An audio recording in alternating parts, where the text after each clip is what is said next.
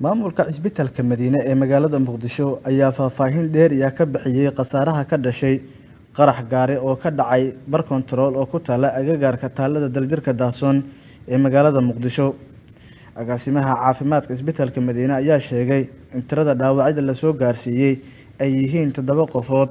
saddex qofood guryahooda dib ayaa loogu celiyey halka afar kalena bukaano ay yihiin oo cisbitaalka ay jiifaan sida uu sheegay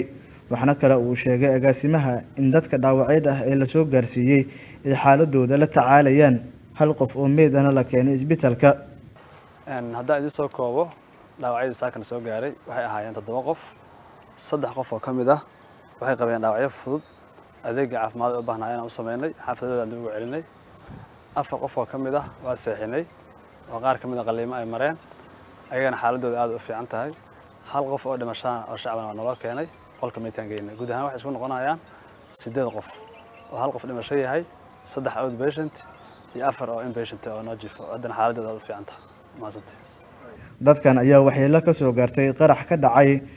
qaraxan dad dadkan ayaa waxyeelo ka soo gaartay qarax ka dhacay bar kontarool oo ku taala taalada daljirka daahsoon ee magaalada muqdisho.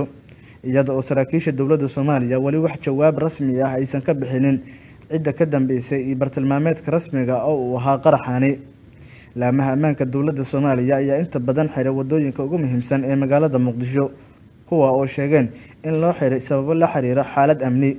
balse ilaa iyo hadda wax isbeddel ah ma aysan dhicin maadaama qaraxyada weli ay sii socdaan maxamuud alxaaji